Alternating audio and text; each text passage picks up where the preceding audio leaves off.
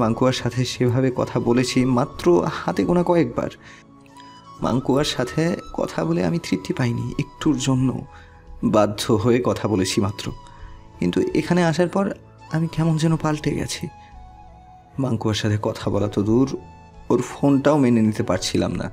তাই আমার সাথে যোগাযোগ করার মতো সব কন্ট্যাক্ট থেকে আমি ওকে দূরে সরিয়ে রেখেছি। মেয়েটা বাসার ল্যান্ডফোনে ফোন করেছিল আজ। কি বলেছে মাম মাঙ্কুয়া?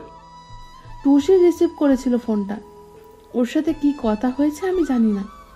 আমাকে তেমন কিছু বলেনি, তবে মেয়েটা কান্নাকাটি করছিল খুব। বললাম, তুমি আসলে তোমাকে ফোন দিতে বলব। রাফির বুক ছ্যাপ করে ওঠে। টুসির সাথে আগে কথা হয়েছে, তাহলে তাকে উল্টাপাল্টা কিছু বলেনি তো? সেই ভয় মনে বাসা বাঁধে। দ্রুত সিঁড়ি বেয়ে উপরে এসে টুসির রুমে আসতে চায়। কিন্তু এসেই দেখে ভেতর থেকেই দরজা ব্লক করা। দরজা কয়েকবার টোকা দেওয়ার পরও দরজা খুলে না ভেতর থেকে টুসি। এটা দেখে রাফির গলা শুকিয়ে আসে। দরজায় কান পেতে হাসতে হাসতে টুসিকে ডাকে Rafi. Open the door Tusi. দরজাটা খোলো, প্লিজ। আমার কথা শোনো। মাত্র এক মিনিট কথা বলার সুযোগ দাও আমাকে। আমি তোমাকে সবটা ক্লিয়ার করে বলছি মাঙ্কুয়াকে টুসি প্লিজ দরজা খুলে দাও। আমার ভীষণ কষ্ট হচ্ছে। সারাটা দিন খুব ধকল গেছে আমার উপর। একটু দয়া করো প্লিজ। দরজা থাপড়াতে থাপড়াতে এ বলল এভাবে নীরব থেকো না। আমার দম বন্ধ হয়ে আসছে। দরজাটা খুলে দাও না এবার। আমাকে রাগিও না টুসি। আমি কিন্তু দরজাটা ভেঙে ফেলব। আবার ধৈর্যের পরীক্ষা নিও না। আমার এত ধৈর্য নেই তুমি খুব ভালো করেই জানো। জোরে জোরে দরজা আঘাত করে বলল দরজা খুলবে না তাই তো? ওকে টান খুলতে হবে না তোমার দরজা। এবার যেটা হবে তার জন্য তুমি পস্তাবে। কথাটা বলেই রাফি এলো পাথারি লাথি দিতে লাগল দরজায়। টুসি হাত দিয়ে দুই কান চেপে ধরে চাপা আর্তনাদে খান্না করতে থাকল। যেন দরজা এমন ধূপধাপ শব্দ তার কান অব্দি না পৌঁছায়। মমতা বেগম উপরে আসতে আসতেই রাফি দরজার পাশে রাখা বড় ভেজটা তুলে এক আঘাত করে দরজায়। নিজের কাঁধ দিয়ে বারবার আঘাত করতে থাকে এই দরজায়। মমতা বেগম দ্রুত এসে রাফিকে থামাতে ব্যস্ত হয়ে পড়ে। না পেরে এক চর বসিয়ে দেয় রাফির গালে আর বলে অতিরিক্ত কোনো কিছুই ভালো নয় রাফি। আমি অতিরিক্ত করছি মম। আর ও- ও তো জেদ ধরে বসে আছে তার বেলায়। তুমি যাও। আমি কথা বলছি ওর সাথে। আমাকে যেতে না বলে ওকে দরজা খুলতে বলো। কথা আছে ওর সাথে আমার। তুমি যাও আমি কথা বলছি। আমাকে দেখতে দাও কি হয়েছে ওর। তারপর কথা বলো ওর সাথে তুমি। যাচ্ছি হম কিন্তু ওকে বলে দাও এত জেদ না দেখাতে। পরশুদিন সকালে গুছিয়ে থাকতে বলবে আমার সাথে যেতে হবে এক জায়গায়। দ্বিতীয়বার যেন বলতে না হয় ওকে ভালো করে বুঝিয়ে দিও। অতিরিক্ত কিছুই করতে চাইছি না আমি। ও যেন আমাকে বাধ্য না করে। সকালে উঠেই টুসি রোজকার মতো কাজ শেষ করে কোচিং করাতে চলে যায়। সারা রাত রাফি না ঘুমিয়ে ছাদে বসে স্মোক করেছে। শেষ রাতে রুমে এসে শোয়ায় সারা রাজ্যের ঘুম ঝেঁকে বসেছে তার দু চোখে। সকাল হলেও ঘুম ভাঙেনি তার। টুসির কোচিংয়ে কাল একটা ছোটোখাটো অনুষ্ঠানের আয়োজন করা হয়েছে। সাত বছর কোচিং সেন্টার পূর্ণ হওয়ার। দুপুরে সব টিচাররা মিলে রেস্টুরেন্টে খাবার খাবে। আর দোয়ার জন্য মিলাদ মাহফিলের আয়োজন করবে। কোচিংয়ের ভেতর। আলোচনাটা বেশ কিছুদিন ধরে চলছে। পূর্ণ করার অপেক্ষা মাত্র। টুসি বাসায় এসে রুমে দরজা বন্ধ করে বসে থাকে। রাফির সামনে সে কিছুতেই যেতে চায় না। মমতা বেগম অনেক কিছু বলার পরও মাঙ্কুয়া কি বলেছে তাকে সে কিছুই বলেনি। রাফি ঠান্ডা মাথায় গোটা একটা দিন পার করল। পরের দিনের অপেক্ষায়। অভ্যাস মতো রোজকার তুলনায় টুসি আজ সময়ের আরও আগে কোচিংয়ে চলে যায়। অনুষ্ঠান বলে কথা, প্রথমে কোচিং শেষ করবে, পরে সবাই মিলে হালকা পাতলা ডেকোরেশন করে মিলাদ অনুষ্ঠিত হবে। সব বাচ্চাদের একটু বিনোদন, একটু নাস্তার ব্যবস্থাও করেছে। সব শেষে প্রায় এগারো জন শিক্ষক, শিক্ষিকা মিলে ভালো একটা রেস্টুরেন্টে দুপুরে লাঞ্চ করতেই যাবে। সকালে মমতা বেগমের সাথে টুসি দেখা করে গেলেও টুসির তাড়াহুড়াতে মমতা বেগম বলতে ভুলে যায় রাফির সাথে কোথাও যাওয়ার কথা ছিল আজ। অবশ্যই কিছুটা তারও গাফিলতি ছিল সেই বিষয়টি তেমন গুরুত্ব দেয়নি। মেয়েটার যা মনের অবস্থা এই অবস্থায় রাফির সাথে বাইরে পাঠানো মানে কিছু বিপদের আশঙ্কা। তাও তার রাগচটা ছেলে রাফির সাথে একা একা পাঠানো তো জাস্ট অসম্ভব। রাফি সকাল থেকে এই ফুরফুরা মনে আছে। সকাল নয়টা বাজে, এখনও পর্যন্ত রুম থেকে বের হয়নি সে। একবারে এই নতুন লুকে বের হয়ে সবাইকে চমকে দেবে আজ। ফ্রেশ হয়ে সুন্দর দেখিয়ে একটা পাঞ্জাবি পরে মিররের সামনে দাঁড়িয়ে হাত দিয়ে চুল ব্রাশ করে নেয় রাফি। ঠোঁটে অমায়িক হাসি দেয়। বোতাম লাগিয়ে পাঞ্জাবির কলারটা ঠিক করে হাত ঘুরেই পড়তে পড়তে সামনের মিররের দিকে তাকায়। এই পাঞ্জাবিতে নাকি তাকে অনেক ইয়াং মনে হচ্ছিল। বন্ধু মহলে সবাই বলেছিল, গতকাল শপিং করার সময়। বিষয়টা দারুণভাবে মনে গেঁথে নিল সে। বাচ্চা বোটার পাশে এইটা পড়ে গেলে মন্দ হবে না। সঠিক বোঝাটা না গেলেও গুনে গুনে পনেরো থেকে ষোলো বছরের বড় তার অবুজ অভিমানী বউটার থেকে সে। ভাবতেই প্রাণ খুলে হাসতে মন চাইল রাফি আগে বউটা শুধু বরবর করল রাগ অভিমানের পাহাড় ভাঙার পর অবুজ বউটা তাকে যে বুড়ো বর বলেই ডাকবে, এইটা সে নিশ্চিত। তাছাড়া বৌজাময় ভাবটা আনা আবশ্যক সেই পরিবেশের জন্য। আজ তাদের বিয়ের ছয় বছর পূর্ণ হলো। বিষয়টা কারোর মাথায় নেই। থাকবেই বা কী করে? এই বিয়েটা তো কোনো দিনও সে মেনেই নেয়নি। কি বাজে পরিস্থিতি তৈরি হয়েছিল বারবার চেয়ে না চেয়ে যেতে আর রাগের বসে এর জন্য সম্পূর্ণ দায়টা অবশ্যই এখন মনে হচ্ছে তারই ছিল। বিয়ের এই ছয় বছর পর মনে হচ্ছে সে মস্ত বড় ভুল করে জীবন থেকে ছয়টা বছর নষ্ট করেছে অস্ট্রেলিয়া যেয়ে একটু ধৈর্য ধরলে হয়তোবা পরিবেশটা একদম অন্যরকম হতো আজ। ফস করেই একটা দম ছাড়ে রাফি। মনে মনে বলল, কোনো ব্যাপার না। সৃষ্টিকর্তা যা করে, ভালোর জন্যই করে। পাঁচ বছর সেই দেশে থাকলে হয়তো জেদের বসে সে ভয়ঙ্কর কিছু করে বসতো, টুসির সাথে। তখন সারা জীবন আফসোস করতে হতো। আমার অনুভূতি আর ভালোবাসার সন্ধান ইহ জীবনেও পেত না, যদি না দূরত্ব আসতো তাদের মাঝে। তাছাড়া সে দূরে না গেলে টুসির পরিবর্তনটা রাফির মনের মতো হতো না কোনো দিনও সুতরাং এর থেকে পাঁচ বছর দূরে থাকাটা তাদের জন্য বেস্ট গোল্ডেন টাইম ছিল, নিজেদের বদলানোর। রাফি একটু ঘুরে নিজেকে দেখে নেয়, সব কিছু পরিপাটি আছে কিনা।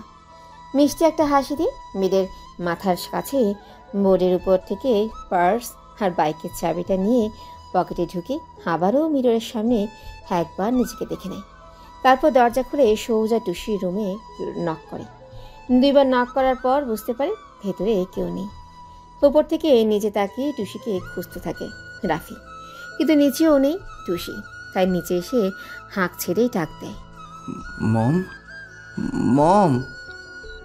মমতা বেগম হাত মুছতে মুছতেই কিচেন থেকে বেরিয়ে আসে। রাফিকে এমন সাজে দেখে তিনি অনেক অবাক হয়ে যায়। রাফির বিয়ের দিনেও চেষ্টা করে পাঞ্জাবি পড়াতে পারেনি তিনি। তারপর তো পাঁচ বছর বিদেশে কাটিয়ে এলো ছেলেটা।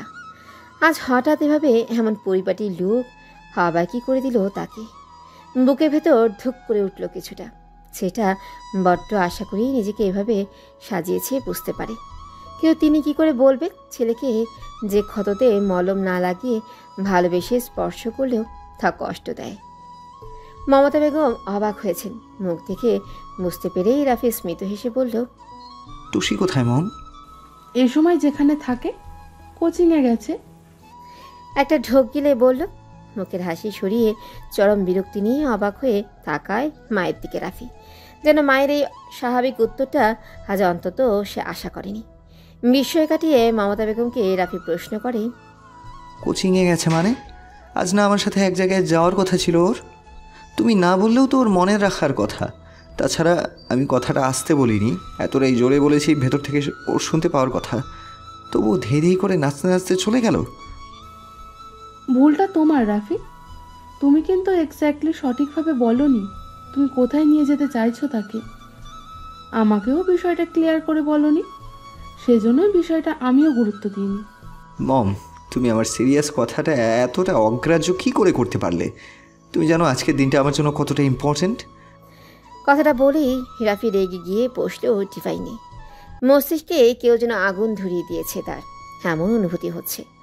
চোখ বন্ধ করে ডিভাইনে পেছনের দিকে মাথা হেলিয়েতে বসল। রাগ করবে তো করবে কার উপর? মমের উপর নাকি টুসির উপর? নাকি নিজের উপর? যে কেন গতকাল আর একবার বিষয়টা স্মরণ করিয়ে দেয়নি সে? কেন টুসিকে? মমতা বেগম ছেলের মনের অবস্থা জানতে কথা ঘুরিয়ে বলল নাস্তা করে নাও। ইচ্ছে করছে না তুমি খেয়ে নাও। সময় দেখেছ কয়টা বাজে?